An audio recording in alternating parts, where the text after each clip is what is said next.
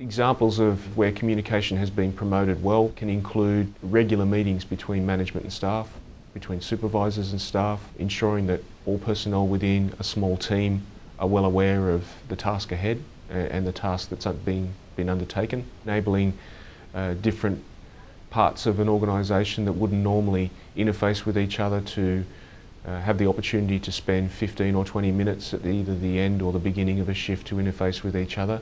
It allows organisational information to cascade across the entire organisation. I would recommend an approach where you would use as many um, mechanisms as possible to hand over an incomplete task. Uh, even if you do have an overlap between shifts to enable an incoming and outgoing group of people to be able to discuss the problem, I would allow them to also complete a handover log so that you've got that written reference as well. Another feature which works well is having task cards where the, the card is broken up into stages so that, uh, you know, particularly in the case of a complex or critical task, personnel can complete a stage right through till it's finished, sign off, and enable the next team to be able to come in at a designated point in the task.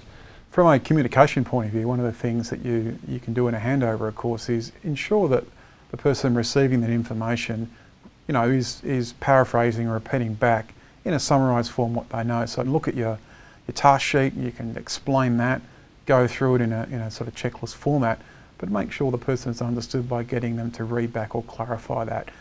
Another way, two-way communication is two-way, it's not just one-sided. I think toolbox meetings are vital. Um, it's a formalised way of ensuring that uh, all members in the team have equal say. It's open, uh, enables anyone within the organisation, whether it's a certifying engineer, whether it's the maintenance engineer, even the apprentice, it enables them to have a voice. And if they have any concerns, they can be raised in a, in a formalised fashion. We hear a lot of people talk about two-way communication, and, and that's totally valid. What people have got to understand is, is when you are communicating with someone, when you're trying to convey information, you have the responsibility of ensuring they understand that. So in some ways, you can also say, it doesn't matter what you say, it matters what people hear and understand.